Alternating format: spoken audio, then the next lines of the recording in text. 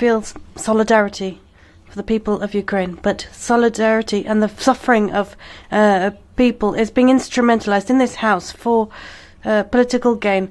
The European Union is transforming itself into a military union because of the warring rhetoric we're hearing. But if you believe in that war time rhetoric, then you might as well believe in Father Christmas. Uh, people tell you that uh, the war machine is funded by Russian gas, but at the same time we're doing deals with Qatar, as is the case for Germany. Is Qatar not an autocracy? Is uh, Qatar not involved in a war in Yemen? Well, yes, there is no uh, avoiding the condemnation of Putin's war on Ukraine, but spending billions on high tech uh, military equipment now isn't going to save lives in Ukraine.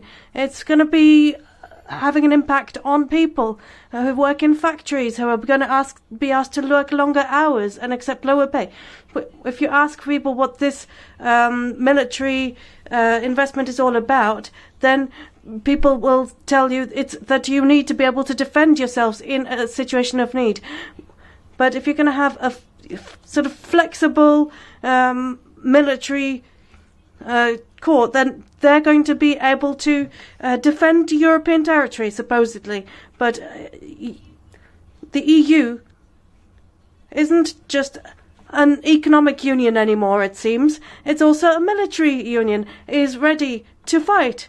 It is armed and ready for battle. But I don't think we're going to be calming people's security worries in this way. We, the ordinary people, the workers, don't want to pay for war. We don't want to fight in wars either. Thank you.